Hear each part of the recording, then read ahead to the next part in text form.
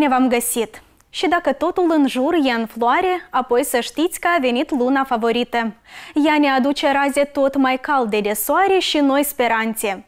Haideți să petrecem împreună această jumătate de oră și să vizionăm.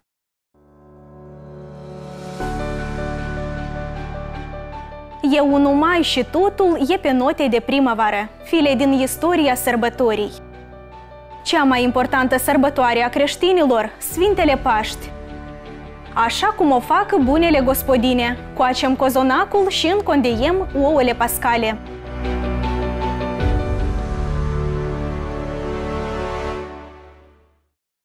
Așadar, e 1 mai și totul e pe note de primăvară. Sărbătoarea păcii și muncii, chiar dacă a pierdut din conținutul de altă dată, astăzi e la fel de îndrăgită. E un bun prilej de a ne odihni în sânul naturii, a pregăti frigărui și a savura din frumoasele zile de mai.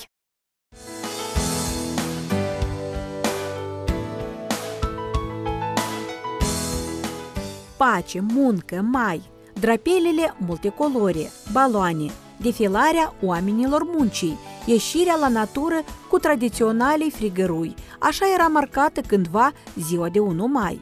Generația mai în vârstă își amintește cu multă nostalgie de ea. Anii aceia făceam repetiții o săptămână înaintea sărbătorii în ograda școlii, cu orchestră, cu muzică. Dar în ziua când vinea 1 mai, de dimineață ne porneam cu banturi albe, cu forma școlară călcată, cu cravata pionierului. Și avem impresie că când mergem înaintea tribunei pe strada Lenin, apoi toți se uitau numai la mine. După demonstrație, lumea se aduna cu grupe, cu familiile și plecau pe malul Nistrului sau se duceau în pădure, unde se petreceau toată ziua până la apus de soare. Compania unde ne adunăm noi, tot timpul era cu muzică. Veneau prietenii și ne cântau cu fanfara sau cântam singur din gură. Mergeam în pădure, fiindcă acolo se adunau organizații, se organiza concerte, vânzări, um, înghețată. Pentru noi înghețata în păhăruțe de napolitane era o noutate pe atunci și era foarte frumos mai era pe atunci, cum zicea Creancă. Astăzi manifestările în masă au plecat în istorie, dar atributele păstrate în Muzeul Casei Caraman ne amintesc de acele timpuri. Drapelul Uniunii Sovietice, care avea steluța și secera și ciocanul, simbolul muncitorilor. Păstrăm cu drag, amintire frumoasă și le arătăm copiilor, le arătăm vizitatorilor noștri și rămâne, rămâne aripa noastră cu care am zburat cândva. Așa că ne mândrim că le avem. Sunt în acest muzeu și unele elemente vestimentare care ne amintesc de perioada sovietică și sărbătorile de atunci. De 1 mai, femeile solide preferau să să-și pună pe cap iată această broboadă pe care tot o avem păstrată în muzeul nostru. Îi ziceam gazic. Ne plăcea și era frumos și noi, fete care ne uitam la aceste doamne, ne gândim, oare, doamne, când o să avem și, când o să îmbrăcăm și noi așa uh, broboade de 1 mai?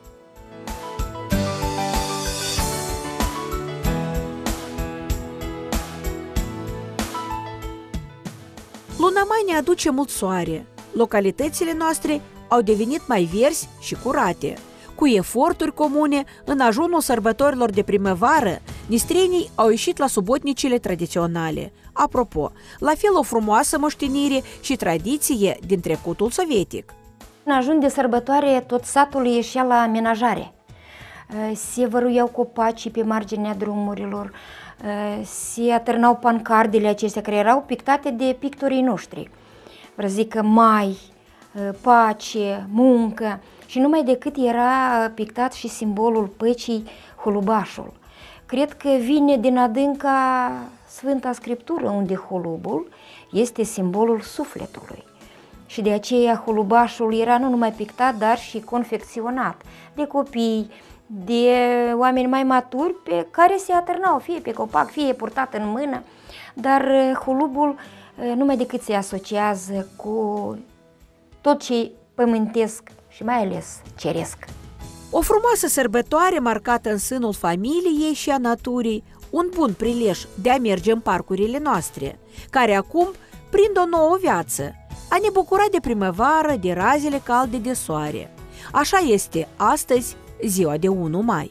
Dacă ar fi în puterea mea să renovăm această sărbătoare, eu aș fi pentru, fiindcă sărbătorile unesc oamenii, mai ales atunci când sărbătoarea e frumoasă și vine din sânul familiei. Oamenii uh, uh, se văd, se întâlnesc, se bucură, uh, își schimbă uh, bucuriile, se împărtășesc cu bucuriile lor. Mm, deci e, e sărbătoare care ar trebui să nu fie uitată. Ne aflăm în preajma celei mai importante sărbători creștine a anului și totodată a momentului de bază al lumii ortodoxe. Paștele sau Învierea Domnului. Cu o cronologie plină de tradiții și obiceiuri, iată cum am descoperit-o discutând cu călugărul mănăstirii Noului Neamț.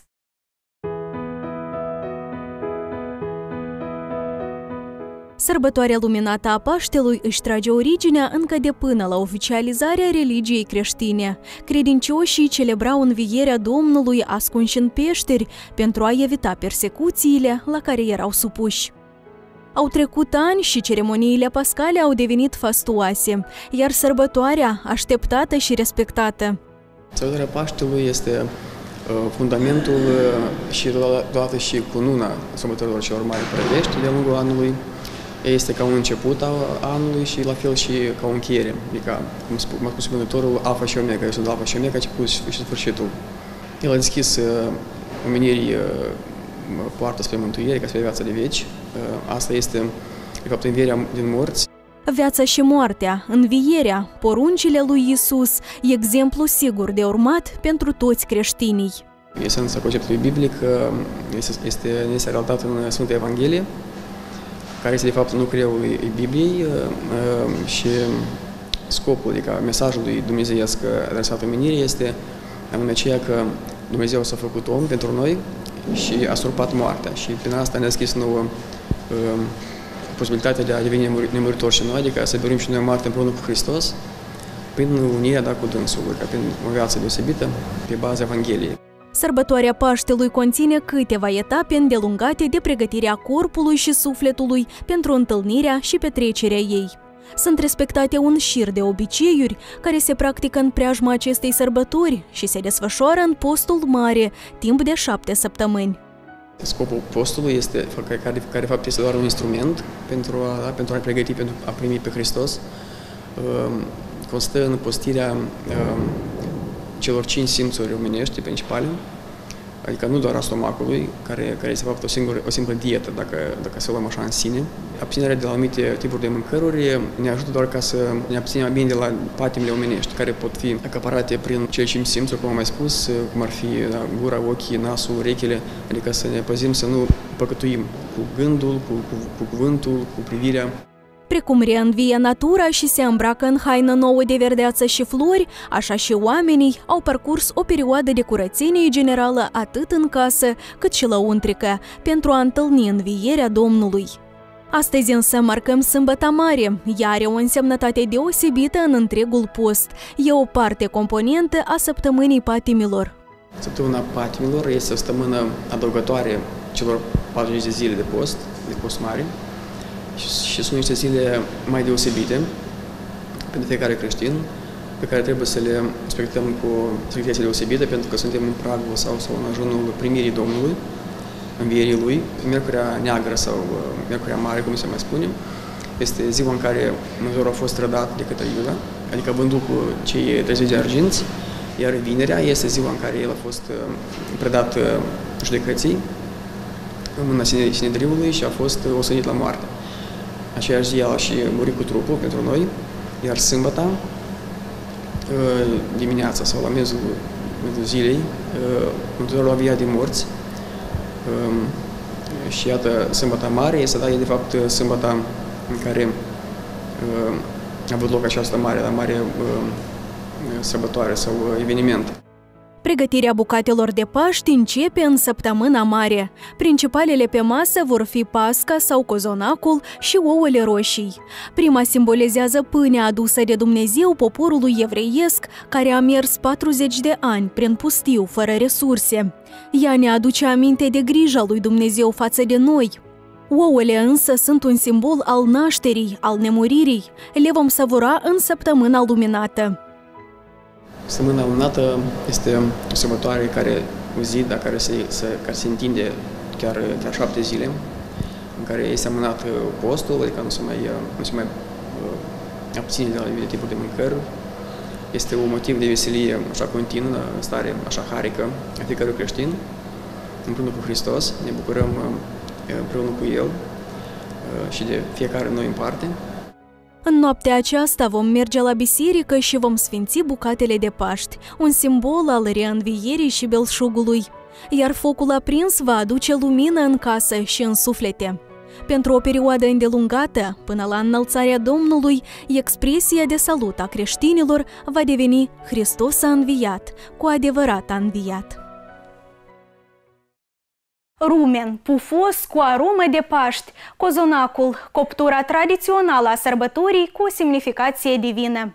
Am pregătit-o și noi din timp cu o tânără pasionată de cofetărie.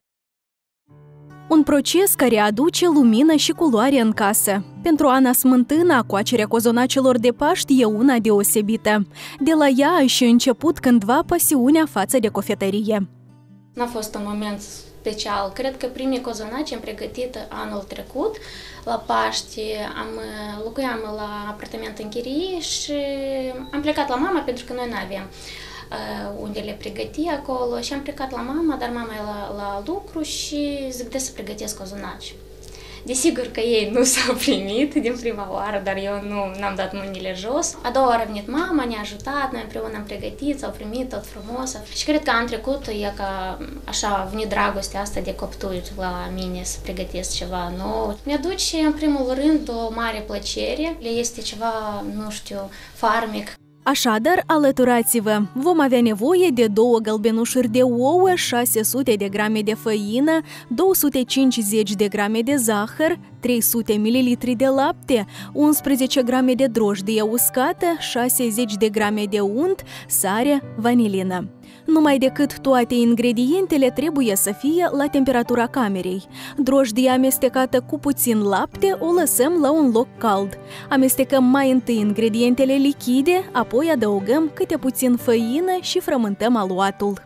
Rețeta dată am, am găsit-o singură, N-aș spune că am o rețetă anume care am moștenit-o. Dacă te gândești că mâine e Paștele și noaptea o să te duci spre dimineață și o să sfi, să-l sfințești acest cozonac pregătit cu mâinile tale, aceasta este un proces miraculos și cred că niciodată din sufletele noastre, din sufletele moldovenilor, nu o să dispară, pentru că unde tu nu te afla, totdeauna aceasta este în sângele nostru.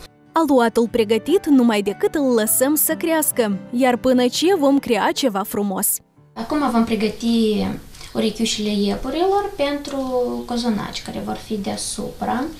Uh, pentru aceasta nouă ne trebuiește mastică din zahăr, îmi trebuiește nouă amidon, câteva instrumente și vopsea alimentară și începem. Fiecare gospodină aplică noi idei în împodobirea atributului sfânt. Principalul e să faci acest lucru cu gânduri curate și luminate, la fel cum e sărbătoarea care se apropie. Dispoziția e ingredientul principal al oricăror bucate, ne-a relatat tânăra eroină. Umplutura copturii de Paști la fel poate fi cea mai variată. Stafide, brânză, arahide, nuci, fructe confiate. Umplem o treime din forma tematică pentru coacere. Le lăsăm să se ridice încă o dată, apoi le dăm la cuptor la 180 de grade pentru 40 de minute.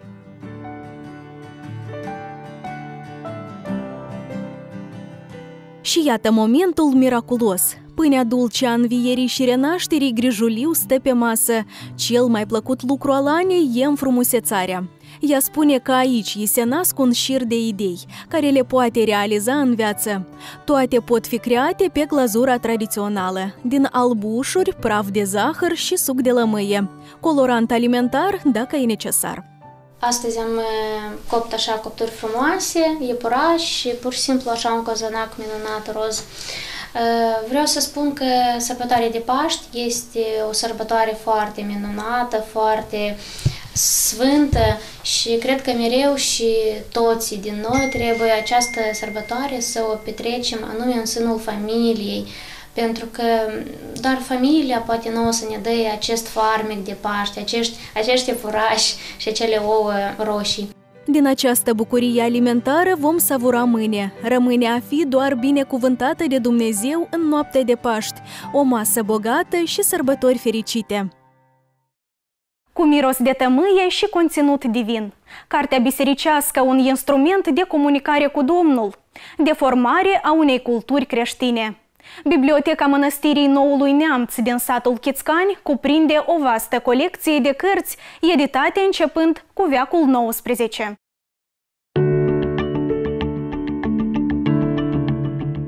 Rafturi de cărți ce nu mai stau vertical, ce ascultători și-au închis coperta, sensibile și decolorate, dar cu o mare valoare. Cartea bisericească este de fapt cuvântul scris, redatat scris, și nu oricare cuvânt, anume cuvântul divin, adică revelat nouă de către Dumnezeu, chiar de la începutul, începutul omeniei, începutul istoriei scrise. A fost început să fie așezate pe hârtie, papirus sau pergament. Acum noi avem aici mai multe cărți vechi care au rămas nouă de-a lungul timpului. Până la închiderea mănăstirii aveam, aveam și cărți vechi din secolul 15-16, dar când a fost închisă, autoritatea Chișinău le-au luat și le-au pus, le-au pus în, în arhiva de stat. Acolo sau se păstrează acum. Acum biblioteca dispune de cărți bisericești tipărite începând cu veacul XIX. Scrise sunt edițiile în limbile slavonă, greacă, moldovenească. Sunt cărți de slujbă care deja au ieșit din folosință, deja nu mai sunt foarte, foarte firabe și vechi. La fel și de registre, registre de sale civilă, adică pe timpuri oamenii se căsătoreau și bădeau copiii și datele erau scrise în cărțile acestea anume în mănăstiri. Era cu un fel de centre civile pe atunci. Și atât avem și din ale aici. Edițiile mănăstirea și le-a adunat de-a lungul anilor. Careva au fost scrise pe loc. Un cronicar vestit al noului neamț este Andronic, care împreună cu alți ctitori a întemeiat mănăstirea. Aceasta este o Evanghelie mai veche, adică o carte pentru slubii bisericești. Din secolul XIX, vedem că este fortificat așa pe părți cu metal, cu alamă, aleaș de metal. Pe mijloc avem o icoană executată în tehnică deosebită cu email fierbinte, deci este o miniatură, așa foarte frumoasă și deosebită. Are și călembe de metal. La fel, coperta este din lemn, îmbrăcată cu material. Prin colțuri avem cei patru evangeliști, Matei, Marcu, Luca și Ioan. În mijloc avem înălțarea Domnului la cer și cu alte sărbători prin la periferii. Este, după cum vedem, anul 1851 și este Evanghelia în limba greacă. Într-o încăpere aparte, cărți teologice mai noi. De tot, biblioteca conține mai bine de 10.000 de volume, editate în diferite țări, Rusia, Ucraina, Moldova. Deci se păstrează cărțile care deja au ieșit din, din, din uh, serviciu divin uh, și sunt cărți pentru de, de literatură, da? pentru cu tematică teologică pentru credincioși, pentru învățători și pentru mereni. Cărțile vechi sunt executate de materiale mai durabile, mai cu, mai cu, nu știu, mai cu grijă, mai cu precauție, pentru că atunci erau mult mai, mai scumpe, erau mai rar întâlnite și erau mai greu de, de făcut. Tiparnițele nu erau atât de performante cum astăzi sunt și de aia ele erau uh, des uh, învălite cu piele naturală, coperțele erau făcute din uh, lemn destul, destul de gros, hârtie la fel era, la fel era groasă, iar astăzi puține, puține tipografii mai fac cărți așa să fie durabile. Un arsenal destul de valoros și important. pentru cultura noastră spirituală și îmbogățirea lăuntrică. Adevărate opere de artă pascale confecționează membrii Cercului Moara de Hârtie din satul Speia, raionul Grigoriopol. Cercul activează din anul 2013 pe lângă Casa de Cultură Locală. Aici copiii, amatori de lucru manual, însușesc tehnici noi de artă decorativ-aplicativă. Tehnică, materiale, simbolica motivilor și perfecțiunea realizării. Către sărbătoarea sărbătorilor, Sfintele Paști, membrii cercului Moara de hârtie din satul Speia execută lucrări din cele mai originale. Se spune că un popor fără tradiție, cultură, fără religia pe care trebuie să o cunoască și să o respecte, este un popor fără istorie.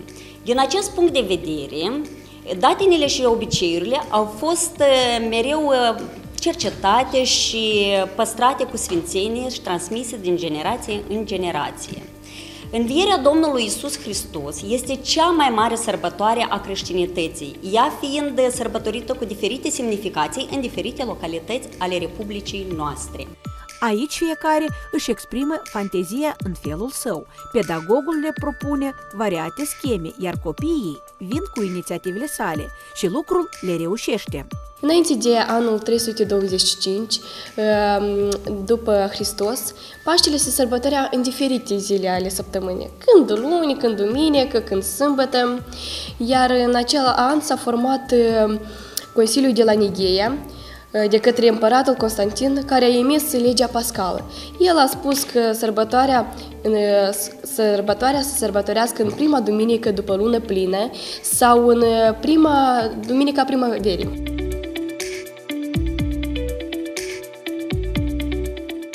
Învierea Domnului este o taină pe care mintea omenească nu e în putere să o lămurească, dar este chemată la credință prin rugăciune. Sărbătoarea de Paște este sărbătoarea bucuriei pe care noi sărbătorim cu toată familia împreună, începând de la cei mai mari și terminând cu cei mai mici. Acum membrii cercului decorează ouă în tehnica decupării. Lucrează cu materiale accesibile. Oul roșu simbolizează sângele care a căzut în coșul uh, de ou adus de Maica Domnului de pe crucea lui Isus. Uh, culoarea albastră a oului simbolizează sănătate și puritate.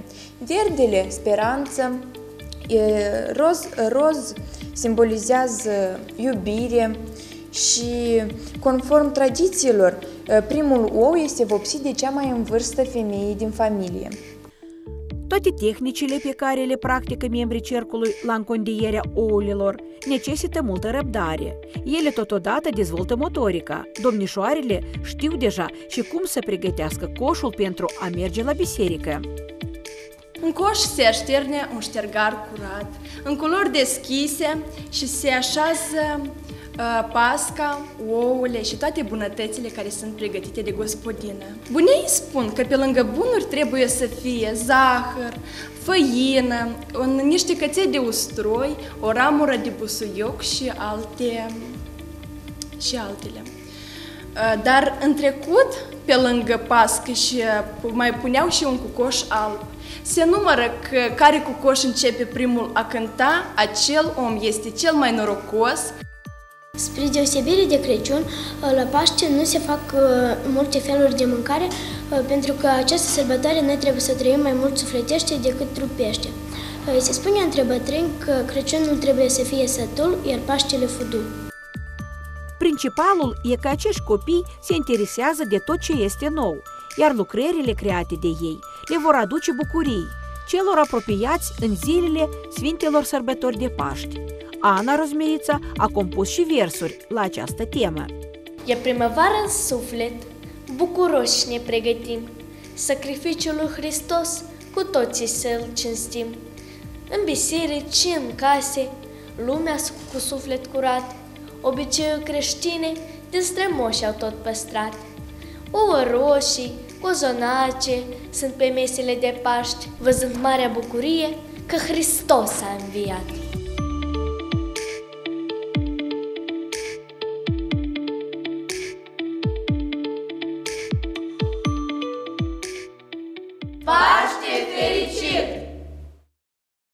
Aici punem punct ediției de astăzi. Noi vă dorim să aveți parte de un Paște fericit, sărbători luminoase alături de cei dragi. La revedere!